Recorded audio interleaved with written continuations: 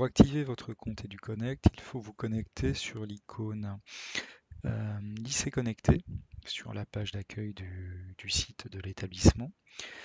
Ensuite, vous cliquez sur élèves, puis sur EduConnect, et là vous allez euh, accéder à une page sur laquelle vous allez devoir rentrer les identifiants et le mot de passe qui vous ont été euh, communiqués euh, sur euh, une feuille transmise par l'administration. Donc vous rentrez votre identifiant, le mot de passe temporaire qui figure sur le document.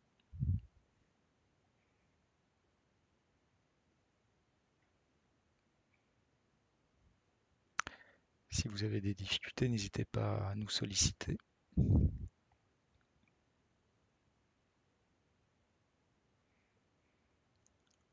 Une fois que cela est fait, vous cliquez sur se connecter.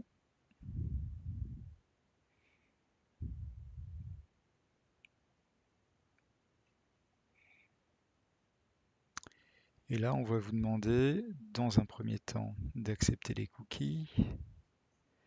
Cookies. Donc, vous cliquez sur Continuer.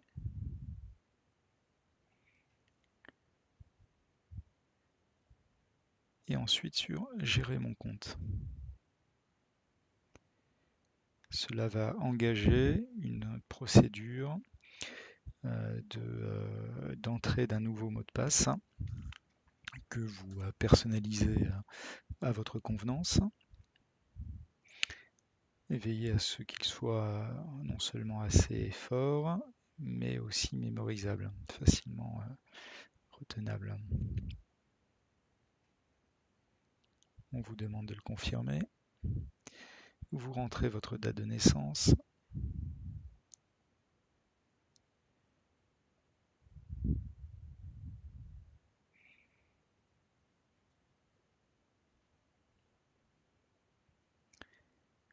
On vous propose également de euh, rentrer votre adresse email. C'est facultatif, mais nous vous recommandons de le faire.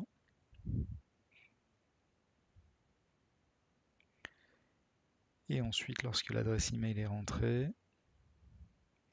vous allez pouvoir cliquer sur Activer votre compte.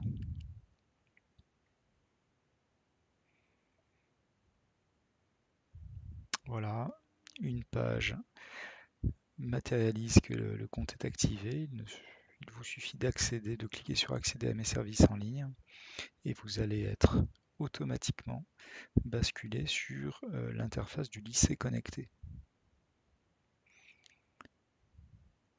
Et lorsque vous cliquez sur l'icône sur l'icône pardon, Mes applications, vous allez avoir l'intégralité des applications disponibles et avec notamment Pronote.